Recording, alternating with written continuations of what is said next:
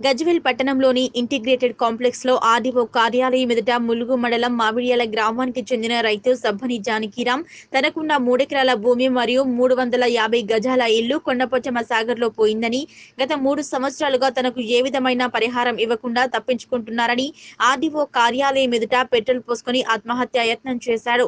దీంతో పోలీసులు రంగంలోకి దిగి అతన్ని పోలీస్ స్టేషన్కు తరలించారు.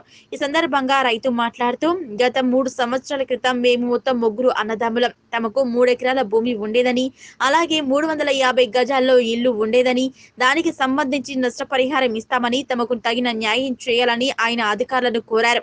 లేదంటే మా ముగ్గురు అన్నదమ్ములకు మరియు తమ కుటుంబ సభ్యులు అందరికీ కూడా ఆత్మహత్య చరణ్యమని తెలిపాడు. మాది విలేజ్ మామిడియాలండి. కొండపోచం ప్రాజెక్ట్ కింద మూడు ఎకరాల పొలం పోయింది. మా- మూడు వందల యాభై గజాల ఇల్లు ఇల్లు ఉంది ఇల్లు పోయింది. మాకు ఆర్ఎన్ఎడ్ ప్యాకేజ్ రాలేదు.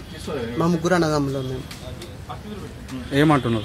ఇస్తా ఇస్తా అంటుండే లిస్ట్ ఇస్తా ఇస్తా అంటే రెండు సంవత్సరాల నుంచి చేయట్లేదు ఇవ్వట్లేదు ఇంకా. మూడు సంవత్సరాలు దింపించుకుంటారు. ఎప్పుడు వచ్చినా రీ- ఫోన్ చేసి పిలిపిస్తాం ఫోన్ చేసి పిలిపిస్తాం. ఇంతవరకు లేదు. మీకు ఇల్లు వచ్చిందా? ఇల్లు ఏది రాలేదు. రాకనే కదా సార్ బాధ. ఇల్లు వస్తే మేము ఎందుకు ఇచ్చేస్తాం? అవును సార్ మాకు ఏం ఆధారం అది ఒకటే ఉంది. ఉన్న ఆధారం గుంచుకొని మాకు ఏం చేయకపోతే మేము ఏడ బతకమంటారు మమ్మల్ని. ఏడ బతకాలా ఏడు ఉండాలి?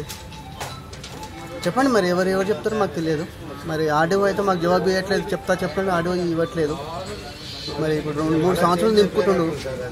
ఈ రోజు ఆ రోజు ఫోన్ చేసి చెప్తాము మేము లీస్ట్ చేస్తా లీస్ట్ చేస్తాం ఇంతవరకు ఏం చేయట్లేదు మరి. ఏం చేయాలో మాకు అర్థం కావట్లేదు. అందుకే లేదు ఉన్నది చేసుకుంటాం